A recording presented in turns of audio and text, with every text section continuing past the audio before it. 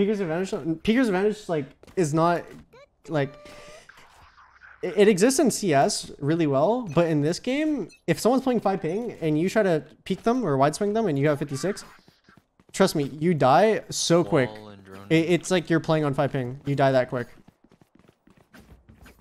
And then if someone with low ping is peeking against you, then they have peeker's advantage against you. It's weird. I don't know. Yeah, in CS, you like you literally teleport. In CS, if you if you swing like this, and you like kill someone at this angle, what it looks like is like you swung like this and you killed them like right here. But like in this game, if I swing like this, I'll actually die right here. Like I'm, I'm not able to take um, an actual fair 50-50 duel. I always have to take a duel that's more in my uh, in my favor. Like I basically have a rule to like never take anything under a 50-50. So if I think a duel is like 60-40, then I'll take it. That's like the only way I'll, I'll take a fair duel.